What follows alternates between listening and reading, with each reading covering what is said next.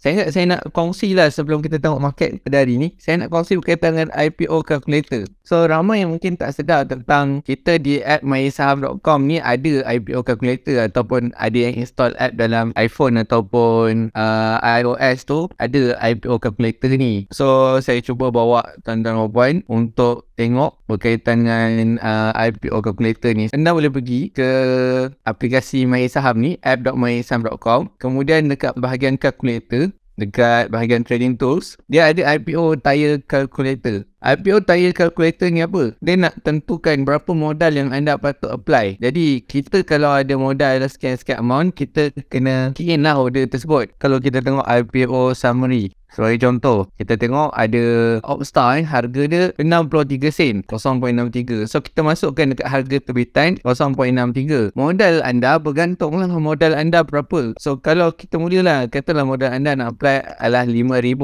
Ha, patut anda guna semua RM5,000 ke ataupun macam mana? Sebelum tu, jangan lupa tekan butang subscribe agar tak terlepas video-video menarik daripada saya. Okay, jadi kalau kita tengok dekat sini, amount dia kena tengok dekat cost. Uh, amount yang optimum adalah anda apply antara 6,100 unit dengan 11,000 unit anda masih berada dalam tayar yang sama jadi sebenarnya minimum anda hanya perlu um, apply anda masukkan 61 lah kali 100 unit so kat situ anda dah hanya perlu gunakan 3,840 ringgit sahaja daripada modal anda. So berapa yang selebihnya duit anda yang tinggal? 5,000 tolak dengan 3843 lah eh 43. Duit anda yang tinggal lah 1157.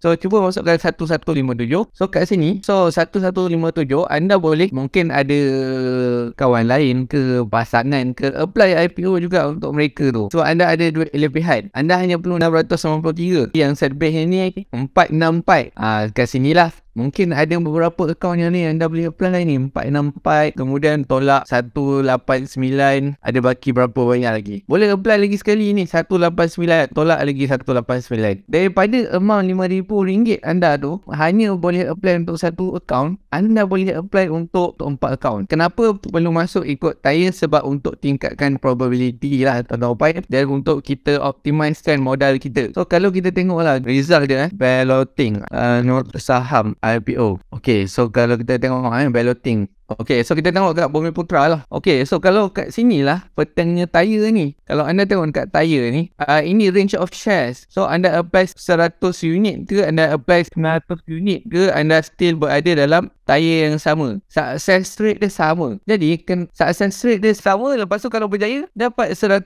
unit sahaja. Anda apply 900 unit pun dapat 1 unit. Anda apply 200 unit pun anda dapat 1 unit juga kalau berjaya. Okay, dan hanya ada 20 orang sahaja yang akan berjaya. Ha, okay, so jadi kat sini itu pentingnya tayar kat sini. So kalau kita tengok kita ni tadi, okay, so sama tak? Patutnya sama lah kalau tak sama. Edit balik. Ah, okay, so tayar nampak ni. Jadi dia sebenarnya akan berbeza-beza. Kadang-kadang kan ikut keadaan. So kalau kita tengok kat sini, tayar dia minimum unit yang ni, yang ni adalah 100 ke 900. So patutnya kat sini 1000 hingga 1900. Kat situ sebenarnya kalau ambil kat sini kita boleh consider selamat lah. Dah masuk tayar lain lah kalau kita masih ikut sini. Yang nombor 1 dengan 2 ni dia dah sekalikan untuk yang ni. Yang ni saya buat general lah. Saya buat general untuk kebanyakan IPO yang ada. Jadi kalau kita tengok 3000 hingga 5900. So dia akan cover kat sini. Tapi yang ni kiranya dia cover tayar 5 dengan 6 terus. Jadi kalau anda nak apply 3100, sama juga anda akan dapat dalam range ni juga. 3000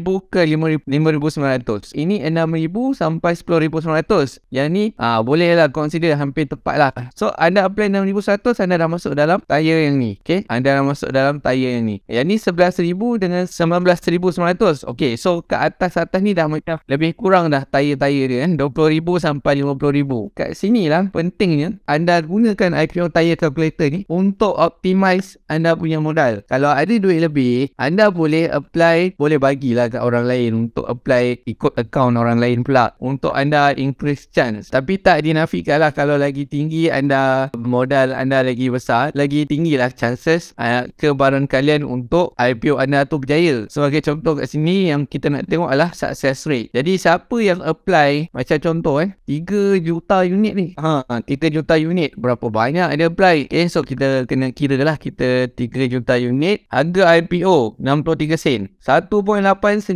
juta tuan baru confirm dan memang confirm lah kalau duit ada 1.89 juta lepas tu dia apply memang confirm lah dan 4 orang sebenarnya yang apply tu. Jadi 4 orang apply 1.89 juta. Okay yang 5 juta ni berapa banyak ada apply. Kali lah 0.63 dia apply sampai 3.15 juta tau baik ok kalau yang 7 juta ni ada juga. Gila tak gila? Betul dia nak uh, dia nak kembangkan duit dia. Kali 0.63 berapa berapa modal dia apply? 4.4 juta ringgit. So itu berkaitan dengan juta lah. Jadi bila dia berjaya dia akan dapat contoh macam ni eh, dia dapat 70 ribu. Uh, so 70 ribu unit. Kali lah 0.63 eh. so dia dapat lah 44,100 ringgit dalam dia punya ni kalau naik 200% so benda tu kali lah 2 dapat lah lebih kurang 88 ribu ringgit dia punya keuntungan dia. Kalau nak kira secara ROI dia dia apply sampai sampai berapa tadi kan 4.4 juta. So 88,200 bahagi dengan 4410000 dan tu nanti kali dengan 100 so dia untung 2% tau kan dia untung 2%. Jadi 2% ni um, saya kira banyak lah kalau 2%. Sebab apa? Sebab kalau nak kira dia punya tempoh dia beli tu daripada tutup online banking sampai hari dia senaraikan, saya kira mungkin dah 2 minggu. Katalah dalam 3 minggu. So, 3 minggu boleh dapat 2%. Baiklah kita kumpul duit sampai 4 juta kau kan. Confirm dapat 2%. Lepas tu pula, 2% tu untuk dalam masa 3 minggu. Bandingkanlah dengan kalau kita simpan dalam ASB ke, apa-apalah kan. Uh, ya, fixed deposit ke. Uh, berapa dah boleh dapat setahun uh, setahun 4% setahun 5% ini 2% tu dalam masa 3 minggu bagi saya rate of return tu memang bagus lah. Jadi kalau kita berpeluang kenal orang kaya ke jutawan ke untuk bersama-sama kumpul duit untuk apply sekali uh, itu adalah lebih baik lah. Tapi kalau dah dia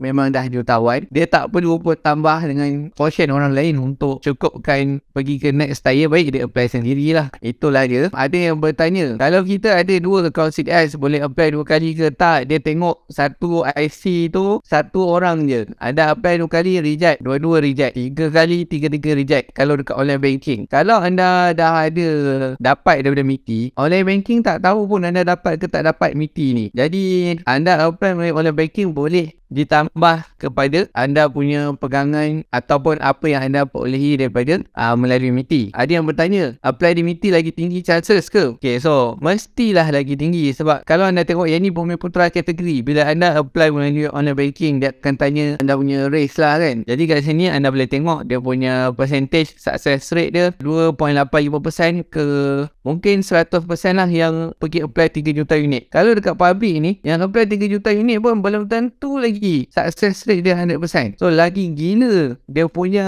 berapa banyak jutawan tu lagi banyak daripada Boy Putra lah. Jadi kat sini pun mungkin kita boleh tengok lah tak bermaksud mungkin bilangan jutawan bukan Bumi Putra lebih ramai ataupun Bumi Putra yang jutawan tak tahu pun pasal potensi keuntungan dalam pasaran saham ni. Ha, so mungkin lah antara dua tu lah ha, tak dapat nak dibuktikan sangat lah kan ha, mana-mana. Okay so itu dia yang dapat saya kongsikan pada kali ni harapnya dapat menambahkan kebarangkalian untuk application IPO anda itu berjaya. You.